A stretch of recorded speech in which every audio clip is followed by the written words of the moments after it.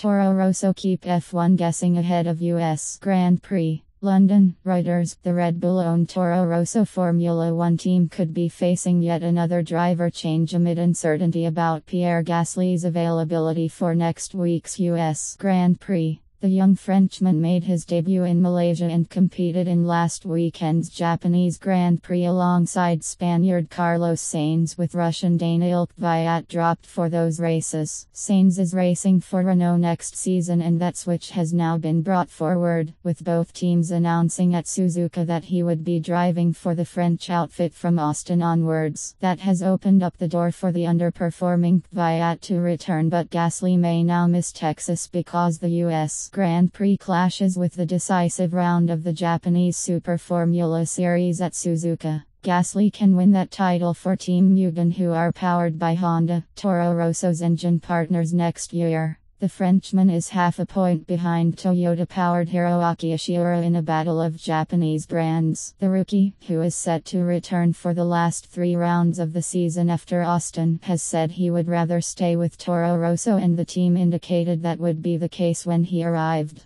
However, Red Bull Motorsport consultant Helmut Marko suggested last weekend that the Japanese race might be given priority, a view that has since been firmed up according to media reports. A Toro Rosso spokeswoman was unable to clarify the situation on Thursday and did not know who would be driving in Austin. Should Gasly's absence be confirmed, Toro Rosso's options appear limited given the shortage of available drivers with the necessary super license. Former Toro Rosso driver Sebastien Buemi, who has won the Formula E electric title since he last competed in Formula One in 2011, might be one option. Le Mans winner Brendon Hartley also has enough points to qualify for a super license with the Motorsport.com website saying the New Zealander had become the leading contender. Hartley, 27, is a former Red Bull reserve driver who also tested for Toro Rosso in 2009 but has never raced in Formula One and has not been in an F1 car since 2012, before the new generation of turbo hybrid engines. The 27 year old won at Le Mans with Porsche this year and is competing in the World Endurance Championship, a Sportscar title he won in 2015.